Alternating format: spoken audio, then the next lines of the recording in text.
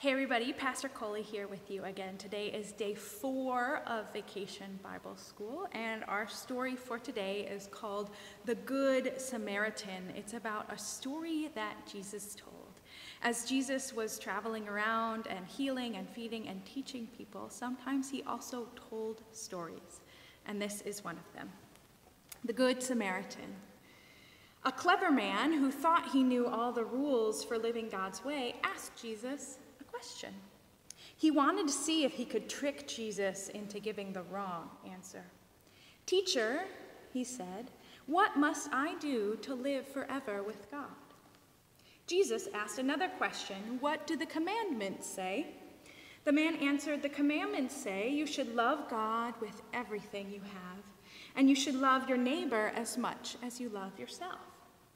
Jesus replied, That is the right answer. Live like this, and you will live with God forever. So, Jesus, the man continued, Who is my neighbor?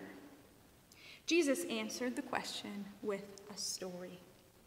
A man was traveling down a scary and rocky road by himself.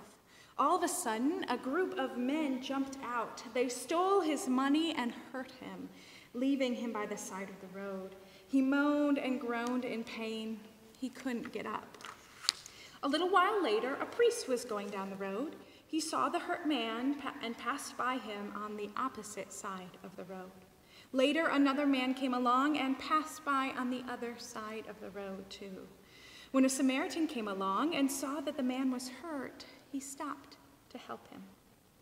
A tear ran down the Samaritan's cheek as he bent down to help the hurt man. He put bandages on the man's cut. The Samaritan huffed and puffed as he tried to lift the man onto his donkey.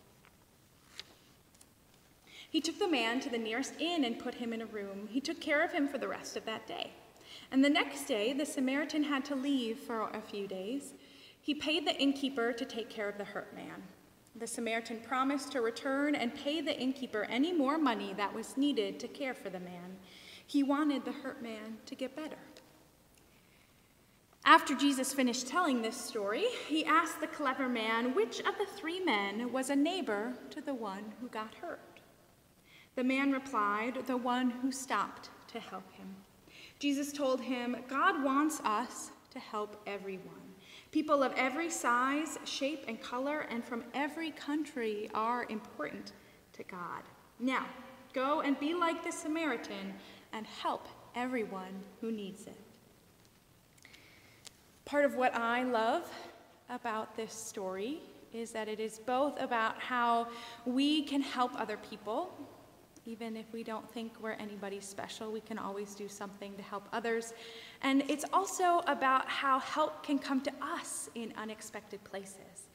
That if we are hurt or if we are down or when bad things are helping to us, it might be the people who we least expect who might reach out and be able to help us in a really big way.